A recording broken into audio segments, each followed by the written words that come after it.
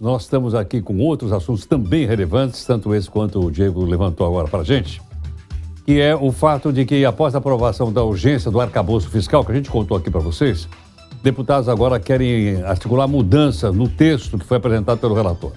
Professor Alexandre Pires, professor de Economia do IBMEC São Paulo, gentilmente aqui conosco.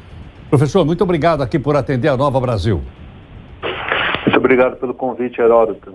Professor, para o nosso público poder entender, qual é a diferença dessa nova, desse novo arcabouço fiscal com aquele antigo, que era o chamado teto de gastos, que é aprovado lá no governo do Temer? Olha, o teto de gastos, ele segurava a despesa e colocava ali um reajuste segundo um índice de inflação que é o IPCA, que é medido pelo IBGE. Então, a cada ano, a despesa só podia crescer segundo a inflação. Era um limite que foi criado. Essa proposta agora, ela muda essa regra, ela cria o que eles chamam lá de, uma, de um intervalo de tolerância e diz que a despesa tem que crescer num certo piso né, e tem que crescer também no máximo de um certo teto, ou seja, tem que estar lá em torno de meio por cento até dois e meio né, e, de modo constante, ou seja, a despesa sempre vai crescer, né, mas não pode ultrapassar uma certa faixa. É, e, claro, contando que a receita vai ser suficiente para cumprir uma meta de resultado primário, que é proposta ali, e que isso vai impedir o aumento da dívida pública. É, então, é uma outra ideia de controle de gastos que não necessariamente impõe ali uma restrição ao teto, né, Heródoto? Ele, é, ou melhor, a despesa, né? Ou seja, não coloca um limite claro, coloca ali uma faixa em que ele pode variar e cheio de exceções, várias despesas não entram na conta e também várias receitas não entram na conta. Né? Vamos ver como isso vai ser cumprido.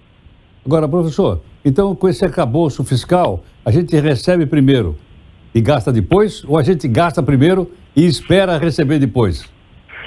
A gente gasta primeiro, Heródoto, e depois a gente vê se a receita vai ser suficiente para cumprir as metas. Isso já aconteceu, Heródoto, na, durante ali o, os primeiros anos do Plano Real, em que nós tínhamos meta de resultado primário e muitas vezes a receita era frustrada, né? ela não acontecia e aí vinha uma justificativa para aquela é, não cumprimento e, e íamos seguindo, às vezes aumentando a dívida pública, às vezes reduzindo.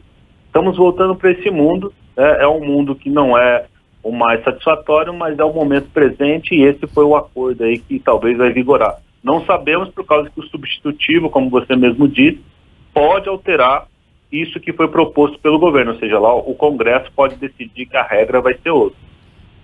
Se eu gasto mais do que recebo, chega no final do mês eu não consigo pagar, ou eu entro no cheque especial, ou eu entro num cartão de crédito, ou eu peço uma grana emprestada para o pessoal que trabalha comigo aqui na redação, enfim, eu vou cobrir.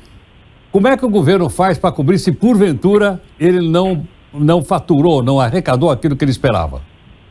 Olha, tem duas maneiras né, básicas. Ou ele emite dívida, só que no Brasil existe algo que é chamado regra de ouro, que ela impede que você emita dívida para pagar a despesa do dia a dia, né? Para usar a metáfora aí do, do cidadão, né? Para pagar o pão do dia a dia. Isso você não pode. Você só pode é, emitir dívida para investir, né? Como se fosse o cidadão abrindo um negócio. Só pode ser com investimento. Outra coisa é aumentar os impostos. Né? Você aumenta os impostos e tenta cumprir dessa maneira.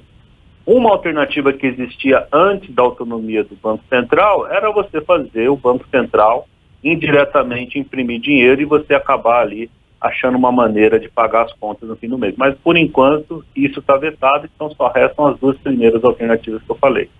Agora, professor Alexandre Pires, é, uma vez aprovado, quais são as expectativas, então, de crescimento da economia, do PIB, que resulta, logicamente, numa maior arrecadação para poder, então, cobrir aquilo que vai ser gasto?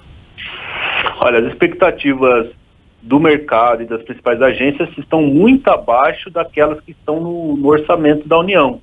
O orçamento da União está esperando quase 3% esse ano, né, nas perspectivas do ano que vem também, mas para esse ano, os analistas mais isentos e afastados estão vendo algo acima de 1%, e o cenário do ano que vem também não é tão positivo. Então, é provável que a receita não chegue nesses níveis aí que estão sendo usados para justificar esse novo regime fiscal e, inclusive, as propostas orçamentárias para os próximos anos. Ok. Professor, muito obrigado. Que hora é a sua aula, professor? É 7h50, Heródoto. Ih, faltam dois minutos, professor. Vamos lá. Muito obrigado. Eu que agradeço. Até mais. Professor Alexandre Pires, professor de Economia do IBMEC São Paulo, de uma maneira que a gente possa entender, né? Porque senão fica muito técnico e eu não entendo. Então, eu vou fazendo aqui as perguntas que suponho que todos nós possamos entender.